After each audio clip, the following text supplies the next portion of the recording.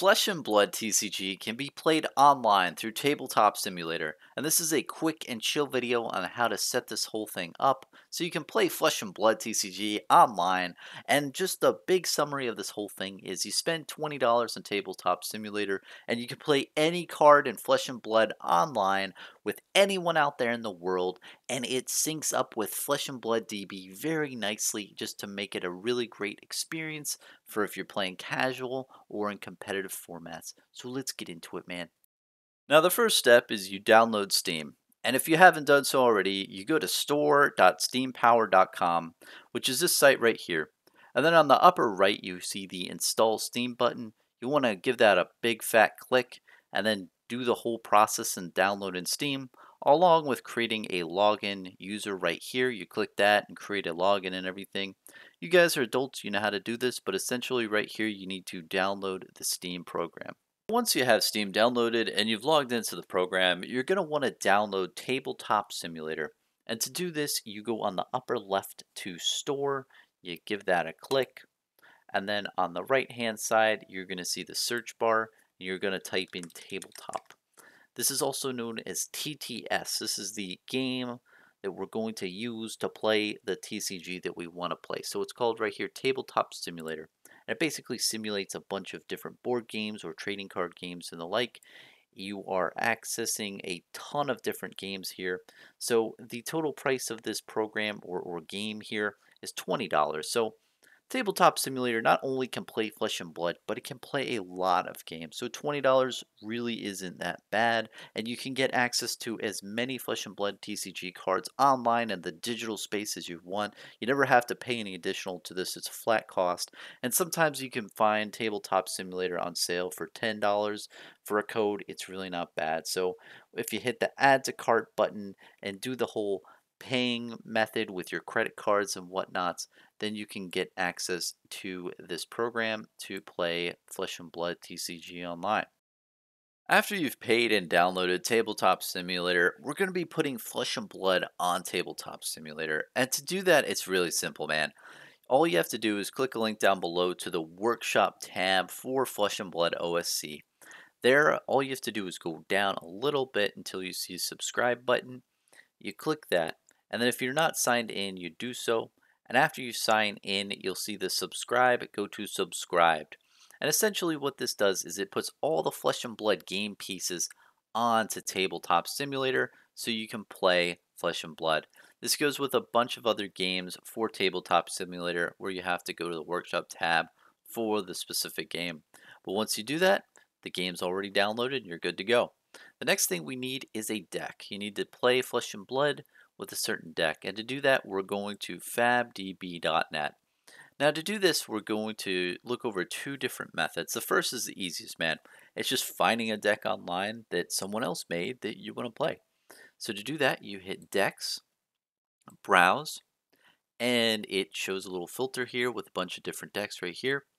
And let's say I wanted to make a Bravo deck. So I'm going to do Bravo, and then the format is Blitz and then I'm going to hit search. Now there's a bunch of uh, uh, different builds right here. Oh, it looks like my deck's here, so we're going to go in that. Bravo BZ America. So I'm going to click this deck right here if I wanted to play with it. You'll see down here it has a bunch of different cards right here. And let's say you click this deck, you want to play with it, you're good to go, you want this on TTS. All you have to do is copy this hyperlink right here and Later on, I'll show you where to put that in Tabletop Simulator, but this is your ticket to getting this deck. Now the next step is if, let's say you wanted to create your own deck. You're like, you know what, this deck's all right. I want to create my own deck. I want to be creative. So what you do is you create an account with FabDB. It's fairly simple. Just hit the, the sign up or log in here. Once you've created an account and logged in, you'll see under decks, you can go into deck builder. So once you're in Deck Builder, you'll see a bunch of different decks that I've created in the past. Let's say you wanted to create a new deck. So you hit Create Deck. And then let's do Bravo. And then on the Edit pane, you can add cards. So on the right hand side, these are cards that I have not added yet. So let's do Buckling Blow. I'll do a couple of these just to show you, and some Cartilage Crushes. And you'll see once I hit these Add buttons, it adds the cards right here. You can also add more like this. And you can see that updated to to two copies versus one and one. Also, to save this deck, you'll hit the settings and then scroll down a little bit. And instead of new deck, let's just call it test deck.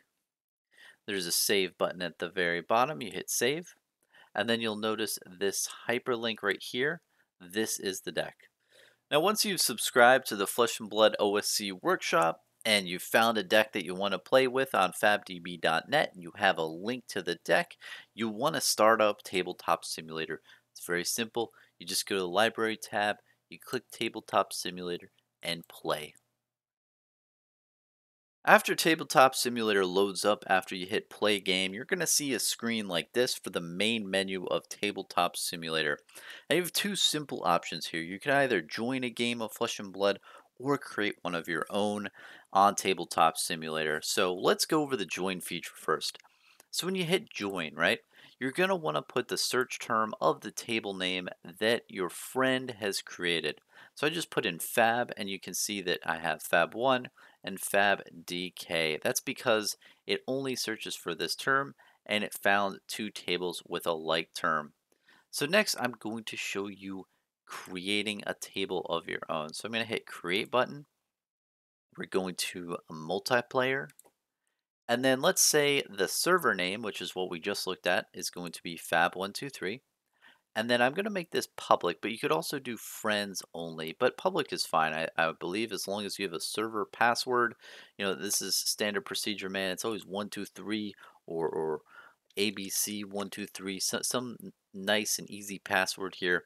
The next thing is the maximum players. I always like to set this to two so no other people can join my game once me and my buddy are on it. But after you've put in all this information, you hit create server. Once you've done that, you're going to see a bunch of different games that you can choose from. We're going to go with Flesh and Blood OSC, which is the one we subscribed to earlier. So I'm going to click that and then hit load. And after you hit load, it's going to load all the game assets onto the tabletop for Flesh and Blood OSC. Now, after you come into the game, you're going to see the left hand side or right hand side has this deck builder. And this is really important because earlier we created a deck and this is where you put the deck ID. So you just click this right here and you'll see your cursor went over here and you hit control V or you control paste. So control V pastes the hyperlink that you copied before and you hit the build button. Once you hit build, you'll see that the deck populates right here and you're able to play the game. So you take your deck, you click and hold, and you bring it all the way over here. Same with your equipment right here, and you hit F to turn it over.